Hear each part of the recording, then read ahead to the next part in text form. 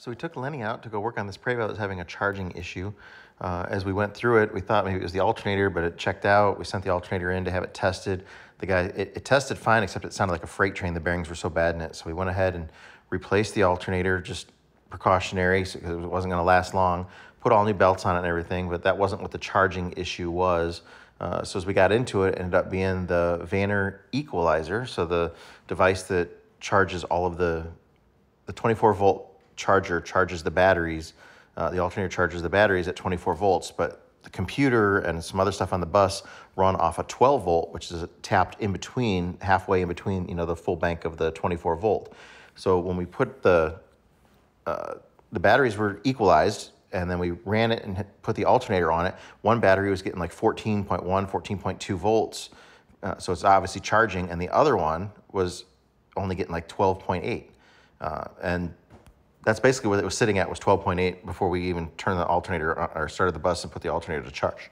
So half of the batteries weren't really getting charged correctly because the Vanner equalizer wasn't keeping them balanced. It was letting one set of batteries get more of a charge than the other across the 24 volt. Uh, so this, this device here, the little light wasn't on it, which I don't see that light on a lot, uh, and they still work sometimes. So um, this, this is what the problem was, is this thing here, it, it keeps that that one bank of batteries that's getting half of the voltage taken out of it, uh, it keeps it equalized.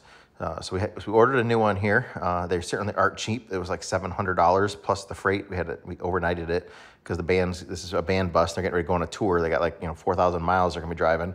Uh, we need to make sure it was charging. So uh, we got that on here and we'll take a look at this here and, and, and run it and, uh, and see how it goes from here. But th this will definitely solve the problem. So once we get this off of here, we'll get the new one mounted and go from there the 12 volt wire right now. The middle one is the ground, and the one all the way over here on this side is the 24 volt.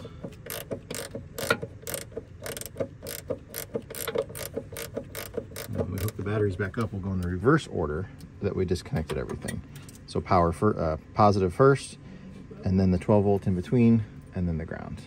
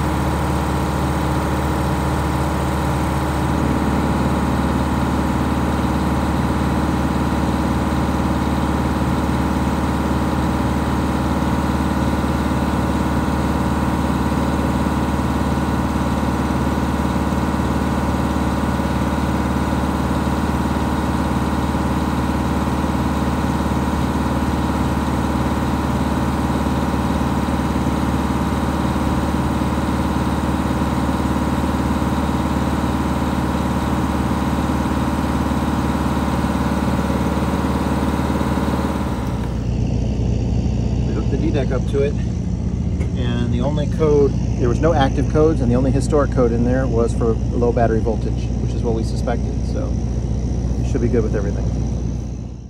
I noticed some little fluctuations in the idle at high idle, uh, so I suspected maybe we had a dirty fuel filter. We went ahead and pulled it and changed it. It really was dirty. All right, so he's taken about a 100, 100 mile test drive, uh, a couple trips back and forth. He's come out to our shop and we're gonna check everything out again. But because they're getting ready to leave on such a long trip, we didn't want to uh, risk there being any other issues with it.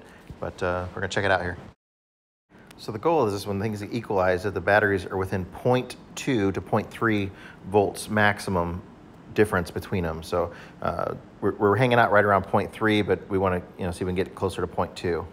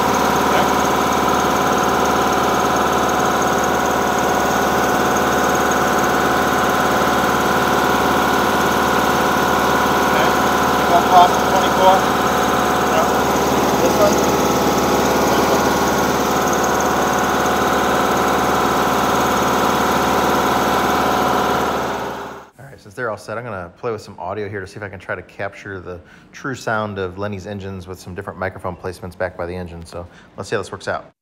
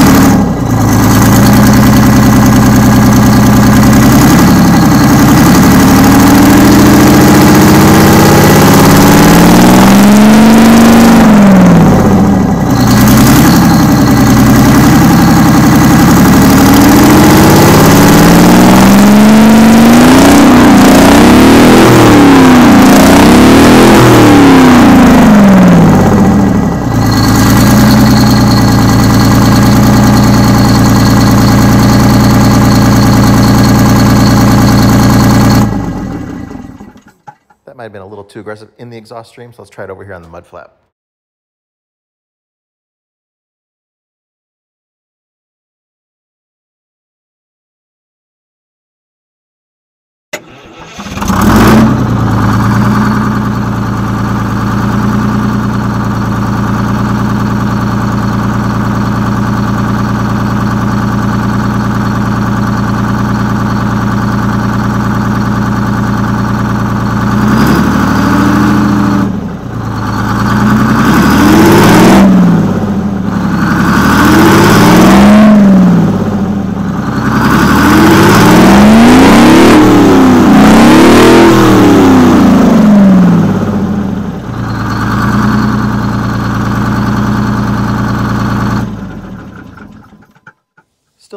Overpowering that mic, so we'll try it a little further away here, but uh, might have to get a different kind of microphone.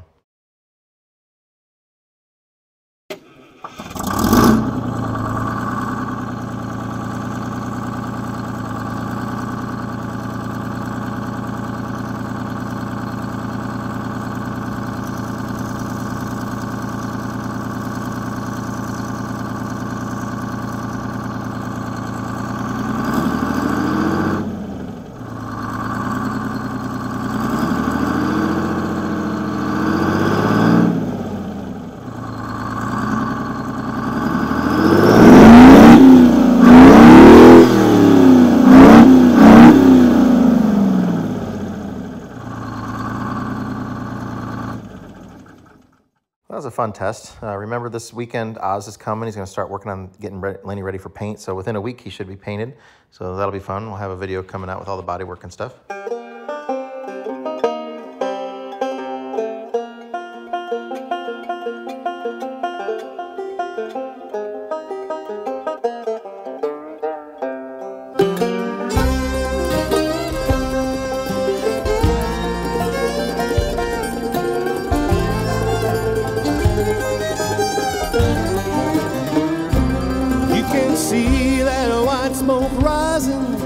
The holler through the trees. And from a mile away, you can hear them play as they climb that hill with ease.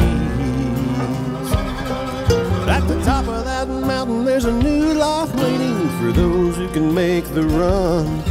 They can make it to the top, Scott will put them in the shop till their new life has begun.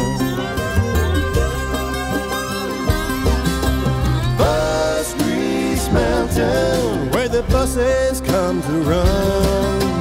Bus Grease Mountain, we're gonna get that big job done.